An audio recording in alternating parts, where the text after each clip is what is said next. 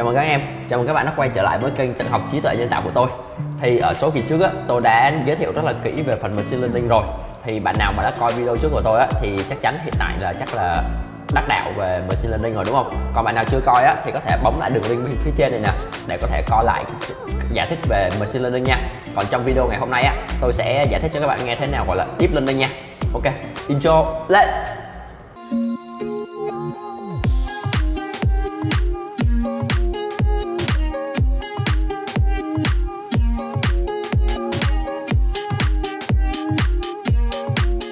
Rồi, đầu tiên á thì tôi xin mời các bạn coi qua một cái tấm hình này nha.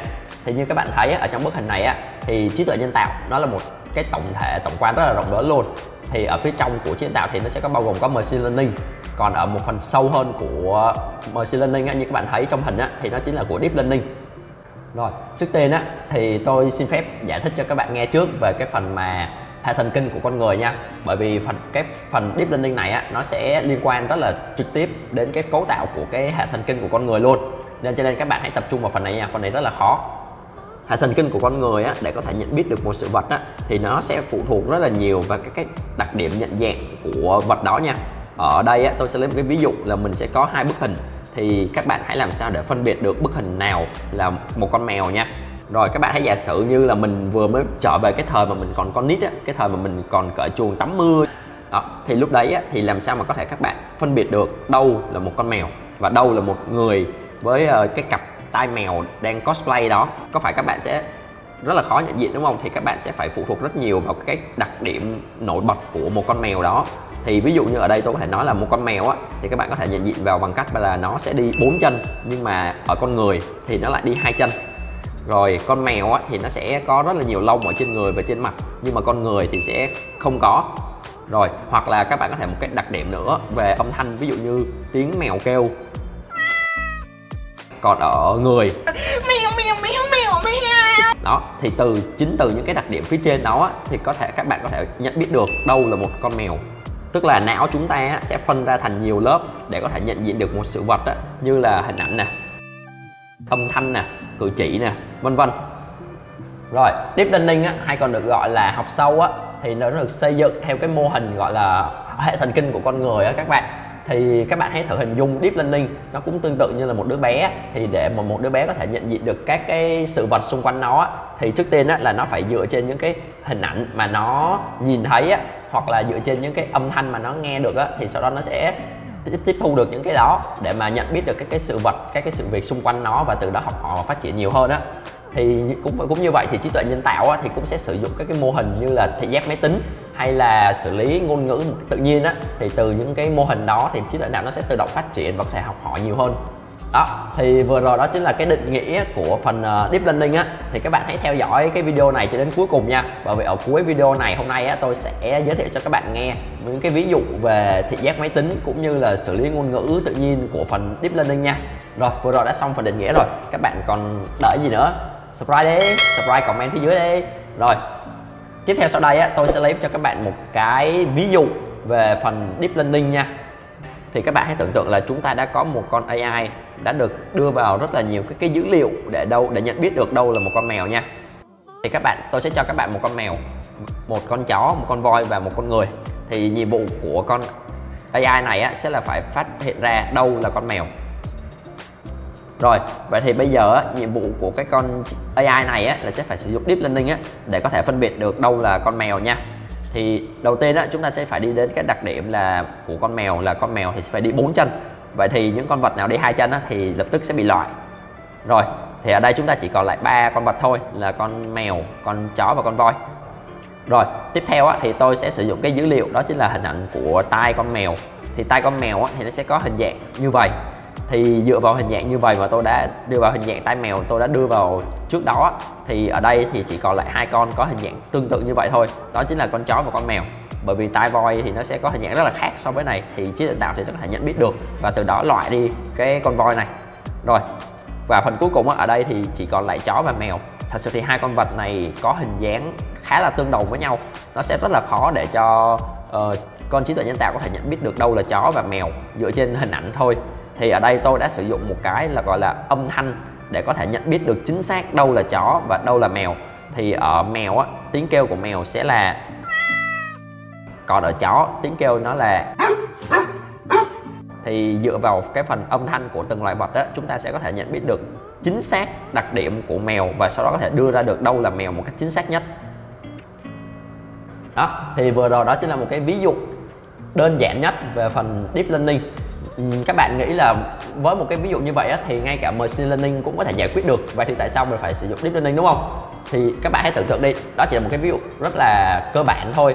Thì từ con mèo con chó nó đã rất là khác nhau rồi. Vậy thì bây giờ các bạn hãy thử tưởng tượng mình sẽ phải phân biệt giữa mèo tây và mèo ta thì bản chất nó đã là hai con mèo rồi các cái đặc điểm của nó gần như là giống nhau tất cả luôn nó chỉ có một số đặc điểm rất là nhỏ để có thể khác nhau thôi. Thì các bạn sẽ phải đưa vào rất rất rất rất rất là nhiều các cái dữ liệu để mà máy tính á, có thể xử lý được uh, phân biệt được đâu là mèo tây đâu là mèo ta. Thì nếu các bạn đưa vào quá nhiều dữ liệu như vậy á thì machine learning sẽ rất là khó để có thể giải quyết được hết các cái đống dữ liệu khổng lồ đó.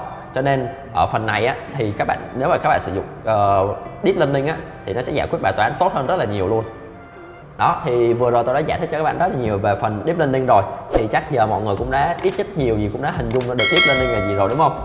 Nhưng mà các bạn khoan đấy deep learning không chỉ dừng lại ở đó đâu các bạn.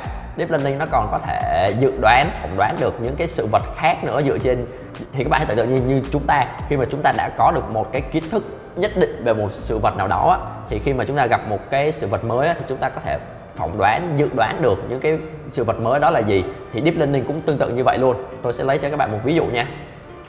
Đây, các bạn hãy nhìn cái hình này đây. Ủa, khoan lộc hình này mới đúng nè. Đấy. Ở đây nó, các bạn nhìn thấy nó y chang như một cái tai nghe dạ vậy. Thì làm sao deep learning hay là trí tuệ nhân tạo có thể phân biệt được đây là cái gì? Thì ở đây á, deep learning sẽ dựa trên những cái đặc điểm mà trước đây chúng ta đã bỏ vào á. Ví dụ như là ở tai nghe thì các bạn sẽ thấy có nó có cái dạng đầu vòng như hình này. Đó thì chứ không phải là cái dạng nét nhét tai như là cái hình này. Rồi thì tai nghe thì sẽ có những cái phần này. Tai nghe có thể có dây hoặc không dây như là tai nghe bluetooth đó các bạn. Thì từ đó từ những cái đặc điểm đó deep learning có thể phán đoán và đưa ra được kết quả dựa trên những cái đặc điểm đó ngon, vừa rồi là video về deep learning trong 5 phút. Thế các bạn đã hiểu thế nào là deep learning chưa? Rồi, thì nếu mà các bạn đã coi qua cái series mà machine learning là gì và cái video này, deep learning là gì á, thì chắc chắn các bạn cũng đang rất là thắc mắc luôn. Đó chính là vậy, khi nào chúng ta sử dụng machine learning? Còn khi nào chúng ta sử dụng deep learning? Khi nào?